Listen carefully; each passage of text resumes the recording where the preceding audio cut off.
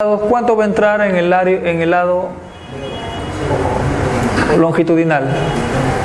Sería 2 metros entre su separación, ¿no?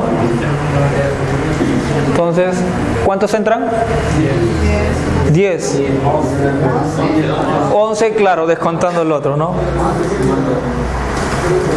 Número de elementos se pone ahí. Número de elementos. El número de elementos es la cantidad de zapatas. ¿Ya? Tenemos una nada más, ¿no? Una.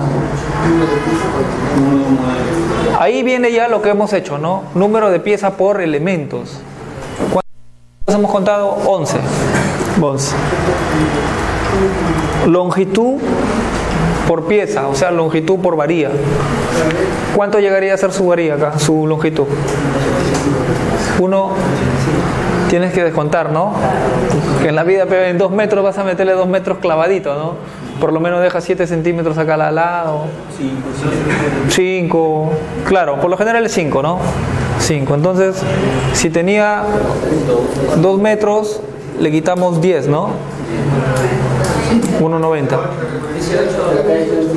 ¿Cuánto?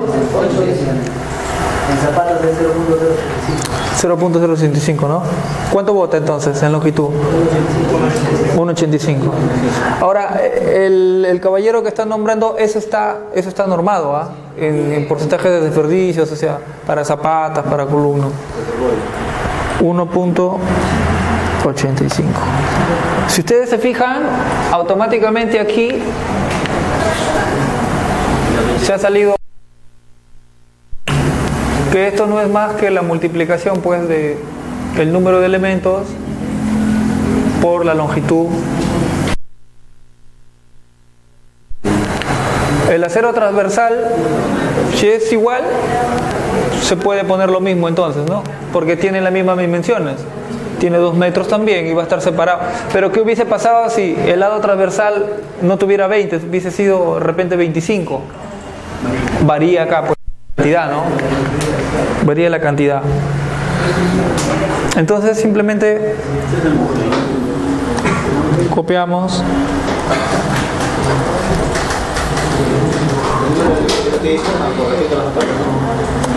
El número de elementos, sí. Se podría decir el número de estructuras.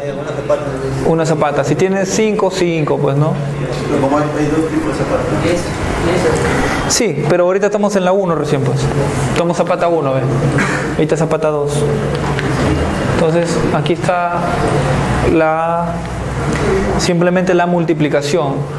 Si ustedes ven ahí, hay unos valores, uno es de sus pesos y el otro es de sus desperdicios. También eso está en, tablas, ¿no? Eso lo encuentras en... Lo puedes pedir en cualquier ferretería, te da, ¿no? De los fierros, sus desperdicios, sus pesos. Vamos a la zapata 2, a ver. Zapata 2. Zapata 2, ¿su separación de cuánto es? ¿También? ¿Punto 20? 20, ¿no? Ambos sentidos. Ya, entonces está, está más simple, pues. ¿Cuánto bota ahí? número de piezas sería 9, ¿no? También tenemos uno. Longitud.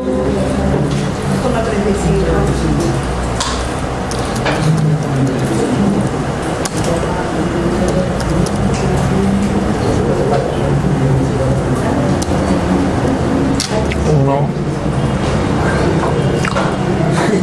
1.35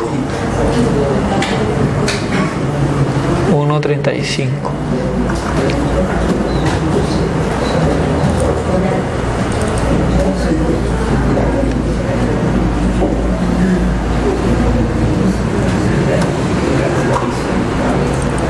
Ok.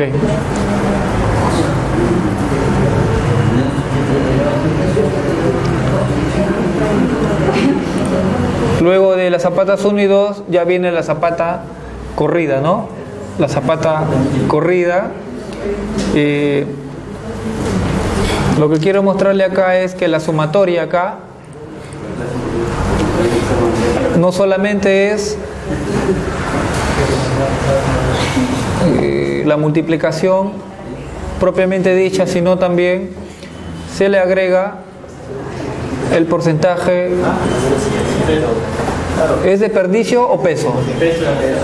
Peso. Peso. Porque acuérdense que esto está en kilogramos y esto se va a cuantificar al momento de, ya cuando hacen el S10 y hay un cálculo del flete de peso por peso. Por eso que se tiene que agregar ese porcentaje de, peso por, por diámetro. Cada diámetro tiene su peso específico, ¿no? Su peso propio. Entonces, esa es la sumatoria que me está dando solo en zapata 1 y zapata 2. 64 kilos. Una bolsa y media de cemento, digamos así. Por ahí, ¿no? 64.35 kilos para yo eh, construir una, una zapata, ¿no? Una zapatita de 40 centímetros, de 2 por 2. ¿No? Sí, las dos. Las dos, porque lo hemos hecho. Lo hemos hecho las dos, claro. Si tú sumas solo uno, ya pues es, menos lógico, ¿no? 20 saldría, ¿no?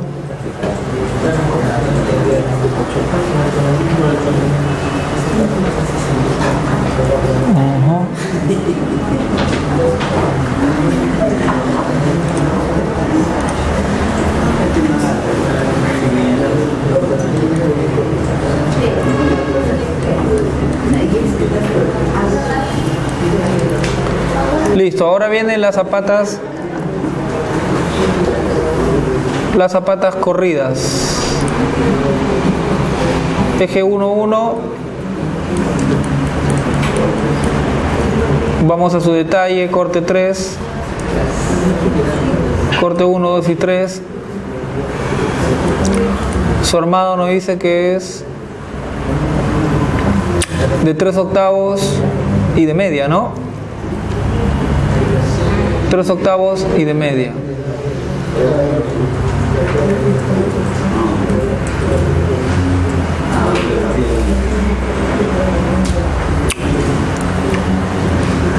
son las separaciones? Son las separaciones. Son las separaciones. Inferior.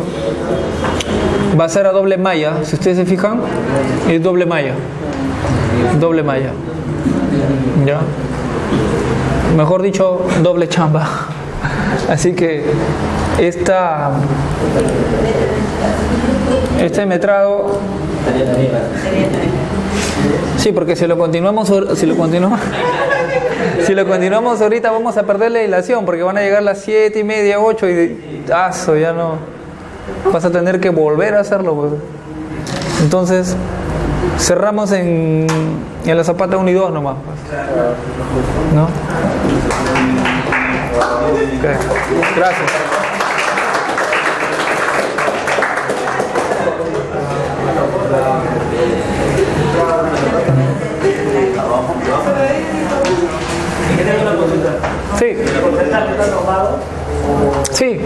Están en las tablas de desperdicio de acero de Cider Perú.